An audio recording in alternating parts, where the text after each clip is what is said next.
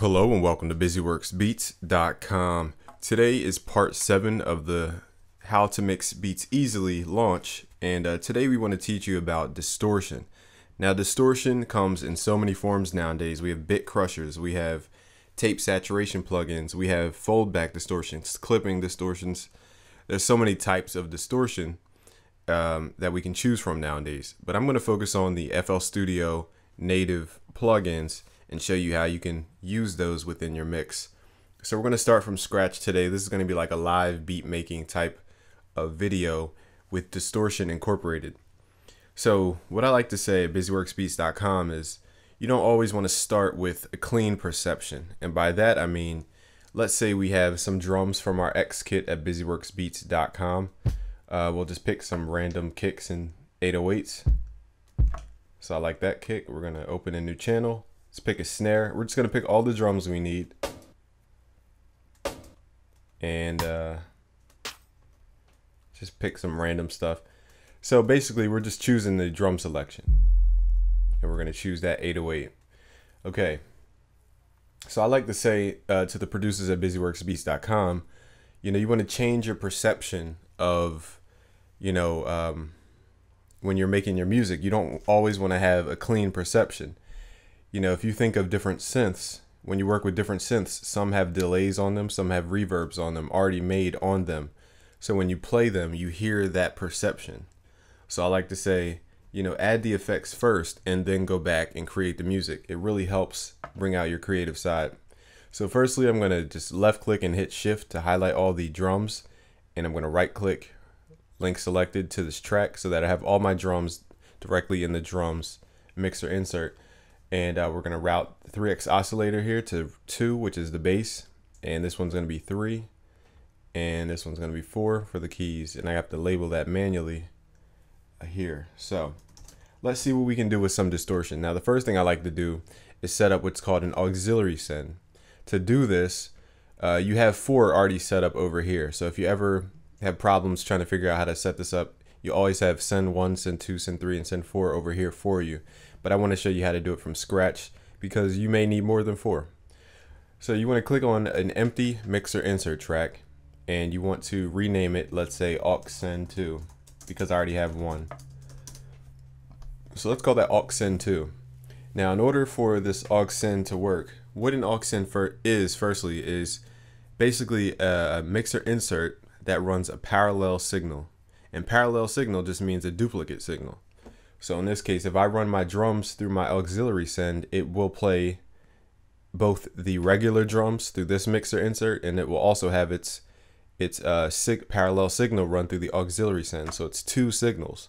So this really creates cool effects we can do when mixing because we can layer different effects without really changing the source sound. We could just layer it on top of the source sound. All right, so if you think about doubling up your kicks, that's kind of like what it is, but the second kick would have some type of effect. So we're gonna run our drums as an entire unit to the aux send. To do this, whatever you wanna send to that aux send, you wanna click on that mixer insert and you wanna click the up arrow here. It auto sends it to that track. Now, what you have to realize is that it sets it to 100% by default, so you wanna actually lower that to 0% because when you're mixing with auxiliary sends, you want to be able to left click and drag upwards to increase the amount of mix level. And you'll understand what that means when we get into the actual mixing because you won't understand it until you hear it. So I'm going to fall back on that and just let the drums route to aux send and to the other aux I set here to uh, distortion.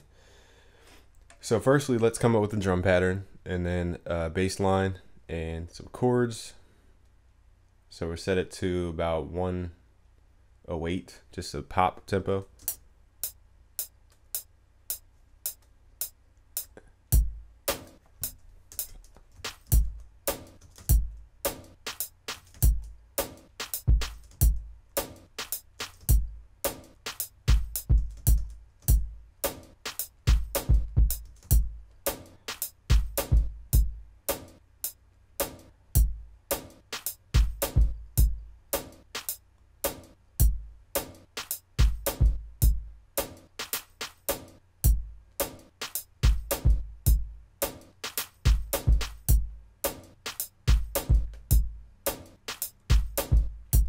Right, so now we have a, a like a pop type of loop. Now we're just gonna add the 808 in here just to give it more uh, bottom end. And first I'm gonna shorten this 808. You don't really need to follow these uh, techniques. We're really just trying to come up with a quick drum loop.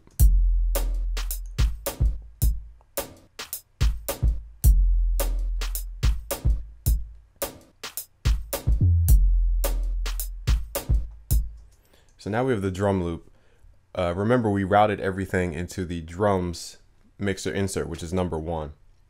So now we're going to route a parallel signal to the distortion aux, which is here on track 8. So here on track 8, we have all the distortion plugins we're going to experiment with. We have the Fruity Fast Distort, we have Fruity Blood Overdrive, Fruity Wave Shaper, and a reverb. So what we're going to do here again, it's like taking this drum signal and mixer insert one, and it's like duplicating all that activity into distortion aux here. So it's duplicating that activity, but in the duplicate, we're gonna have all that distortion. So it's like playing each, it's like playing the drum loop side to side, but one has the effects on it. That's what an aux send really is. So what we're gonna do is uh, listen. Firstly, you have to uh, go back to the aux send meter here the mix level. So all the drums we want to go into the distortion at a certain mix level. Remember this is parallel mixing. So we're going to left click and drag up until we hear the signal run through just enough. So first I have to turn on a distortion plugin and turn it up to 100% um, because when you put things on the aux send, you want to have them at 100%. It has to do with dry and wet level. So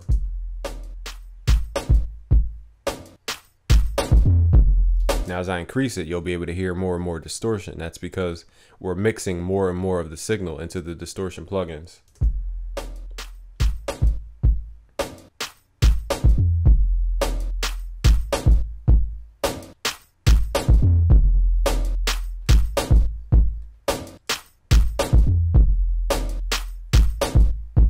So remember, we're coming up with a duplicate signal. So you really want to push your distortion as much as you can so that you can cut back on the mix level.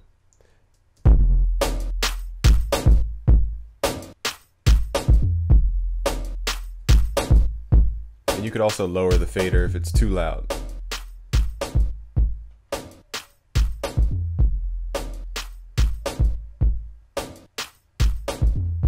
So this really makes it, you know, we dirty up the drums using distortion. So that's the first thing I like to do. I like to get the perception of dirt before I even begin. So we did that kind of after the fact, after we created the drums. But now we're going to route the other instruments like the bass. We're going to route to that aux by left clicking and dragging up to about 50%. We're going to do that for each of the sounds, the leads, the keys I want to leave clean. Um, so we're going to start from scratch again. Firstly, we're going to come up with a chord progression that works at 108 tempo. Uh, so we can lay the foundation for everything else. Again, if you want to learn chords and different music and how to approach that, uh, you can literally learn music theory in a day at busyworksbeats.com. Our new product, Music Theory in a Day, solves all your problems as far as music theory goes. So let's come up with a, a hip hop tempo, I mean, a hip hop chord progression.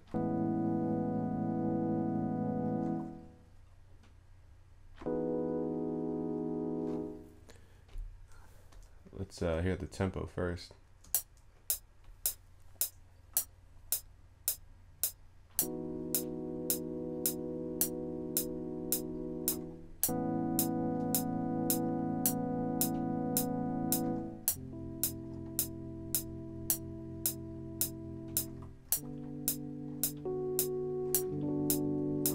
All right, so I think I have the chords in my mind that I want to use. Um, I might have to play them separated, but you know, we have the chords in our mind here. So,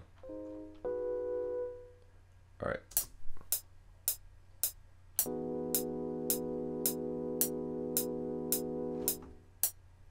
And that's what I meant by separated.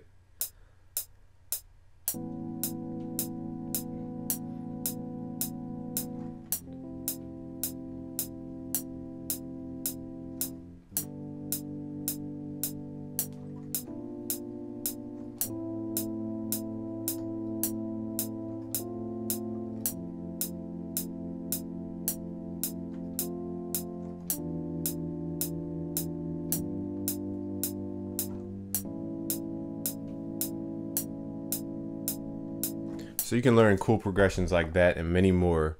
Um, and you'll understand the whole thought process behind it and how to actually learn music theory from the ground up with our latest product, Music Theory in a Day. Truly opened my eyes um, when I learned music theory, and it will definitely open your eyes, take you to the next level. So let's just uh, quantize all these, stretch, whoops, and let's hear it.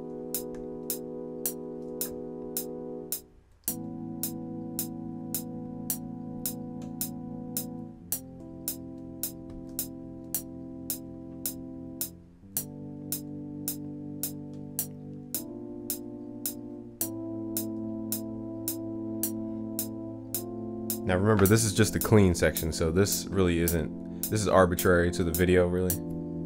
But just wanted to show you, you know, you can learn this stuff. All right, and you could literally learn that in a day, truthfully. All right, so let's uh, change a couple parameters. Um, hmm, I don't even think they have it, so we're not gonna bother with that. And uh, anyway, so Let's move on to the actual distortion. So we're going to come up with a baseline based on that progression. Uh, that the chords are going to be the root of our whole song, as well as the drums. So we're going to reprogram the drums in this case to fit the chord motion. So we're gonna. I just wanted to show you how you could dirty up your drums right away. Now, since they're already distorted, now we have the immediate perception of distortion on our drums because we set up the aux send. So now we're gonna hear the drums and we're gonna program them with that distortion already on it. So it's going to create a new aspect, a new perspective on, on creating drums. So let's add the empty drum patch in here for eight bars. Uh, let's do 16, whatever.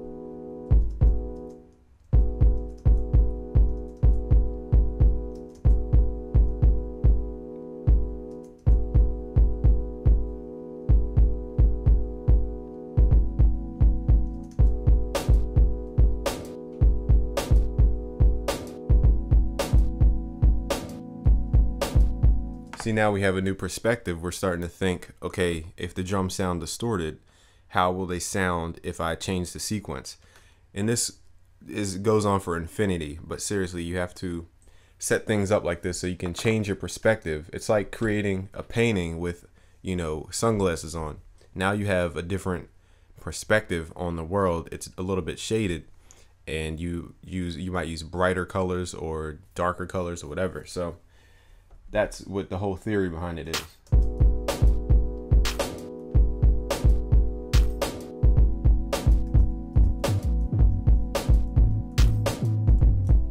Now we're going to leave the 808 out because we're going to create a sub bass using 3x oscillator and uh, that'll be this one. So we're going to rename this bass and this is going to be the lead. So we're just going to create a sine bass, nothing difficult. All we're going to do is just lower the CRS knob and just lower the volume knobs for the other two oscillators and we have basically a sub bass. I'm just going to go to miscellaneous, activate portamento and mono mode. So we have a little bit of slide action.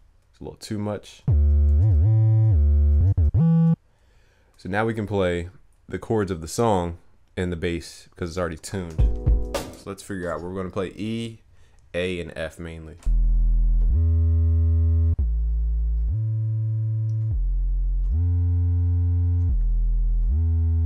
So that's going to be the bass line. It goes E, and then a higher E, and then A, higher A, F, then a higher F, then E again.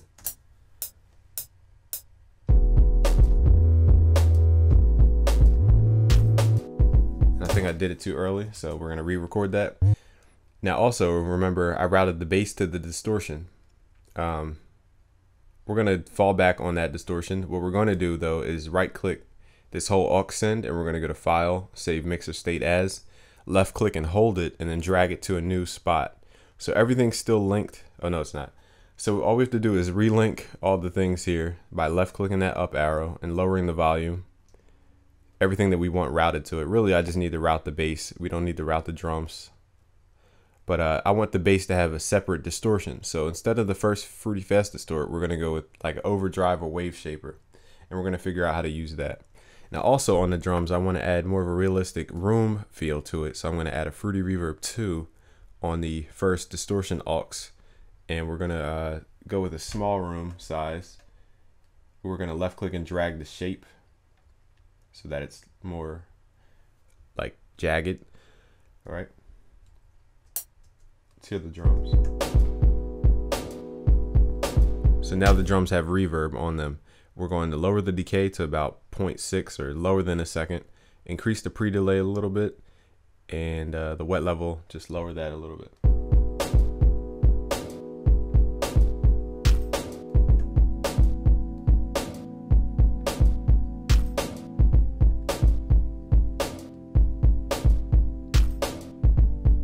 Now when mixing, I don't advise putting all your drums directly into a drum bus right away but uh, for this case, we wanted to do that for you.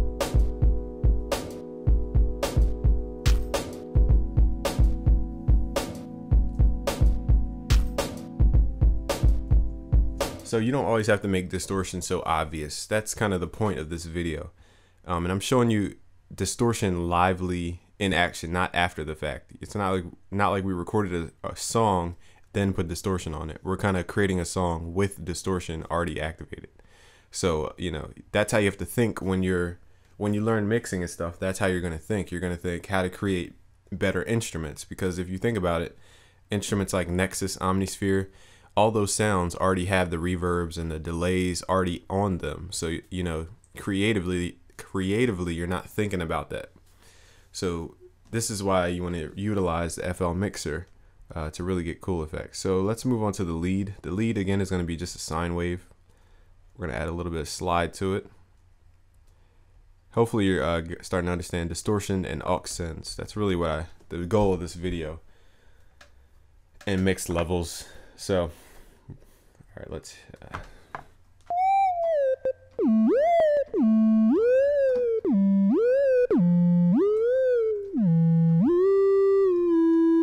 So it's a little too much portamento, so we're going to lower that slide a little bit and we should be good. Now again, the lead's automatically directed to the aux send. Maybe I don't want it on the drums aux. Maybe I do. So we're gonna, you know, mismatch, mat, whatever the word is. And we're gonna cross match this stuff.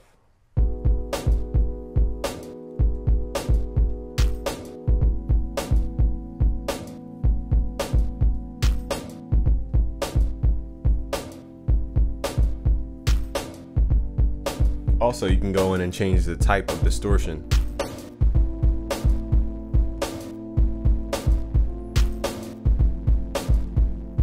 I think the sound's a lot more granular and I like it a lot more.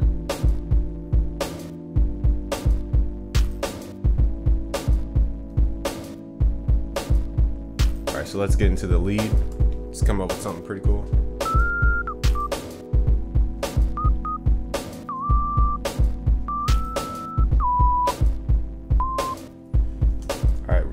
Route the lead to, uh, let's say the bass aux. Actually, let's try the drums because it has reverb on it.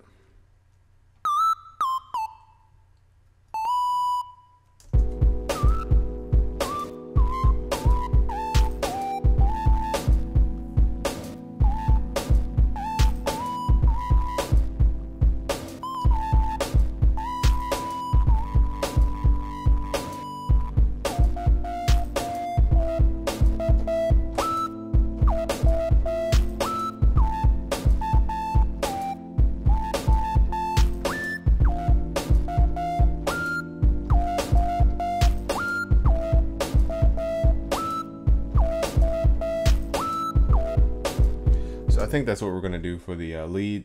Not create a really cool long melodic lead, just more of a pluck type thing.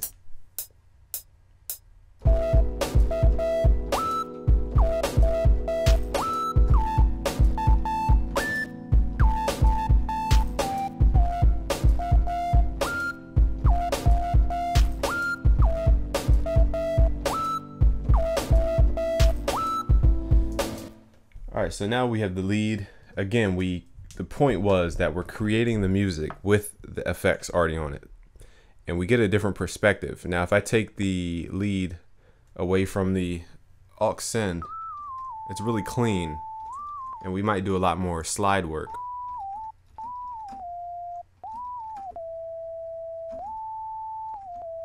But since it's distorted, we're not doing so much slide work and longevity because it's it has that harsher bite of the distortion.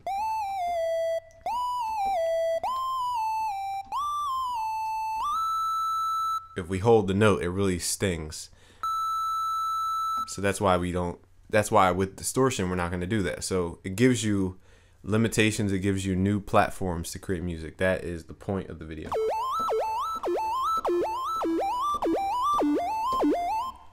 So you could come up end endless stuff with this distortion. So let's just get the timing correct and then we're gonna move on.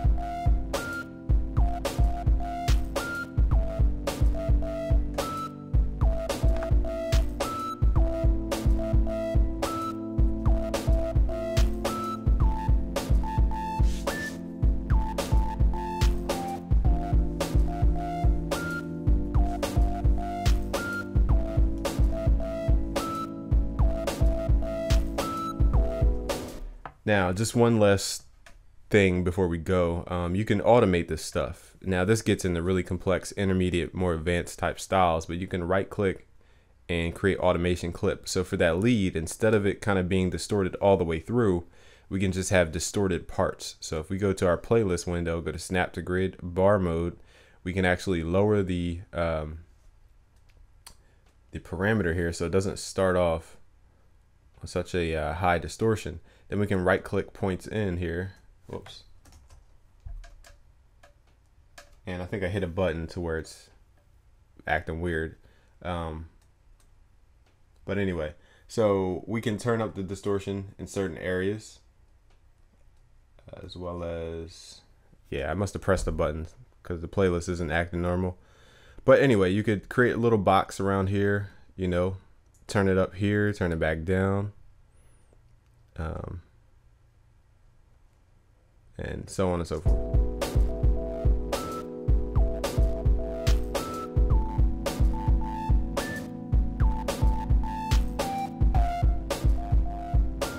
So you can have it move in and out, in and out. And the beauty of that, again, is that parallel signaling. So that might have been a lot to take in as a beginner or wherever you are in music production and mixing. But the point is, you know, put the effects on the stuff before you start creating the music. That'll give you a new perspective, whether it's one effect, two, two effects, or three effects. Um, we also went over setting up an auxiliary send today and uh, how you can, what a parallel signal is, a duplicate again of the dry signal. But the parallel signal, you can do a lot more to it. You can do a lot to it and uh, it won't affect the effectiveness of the original dry signal. Um, so hopefully you understand this a little bit more. And again, you want to check out uh, Music Theory in a Day at busyworksbeats.com to learn chords, to learn melodies, to learn scales, to learn everything you need to know uh, to be effective with music theory. And you can literally learn it in one sitting. So, again, thanks for watching today. Today is day seven of the launch for How to Mix Beats Easily at busyworksbeats.com. The course is going to be about you know, mixing. We're going to teach you the ins and outs of mixing in FL Studio as well as some of the industry uh, standards. But it's, it won't be too advanced where you don't understand. It'll be right at the beginner stage through the intermediate stage. And you might learn something new, you advanced guys. So thanks for watching today. It's busyworksbeats.com. Please like the video and please share with your friends if you think it's good content. And uh, subscribe if you're new to Busyworks Beats TV at YouTube. And uh, also, well, always check out uh, busyworksbeats.com, our premium area. We have tons of videos that we don't put on YouTube about music production, mixing, starting beats, you know, tons of stuff. So thanks for watching today. It's busyworksbeats.com.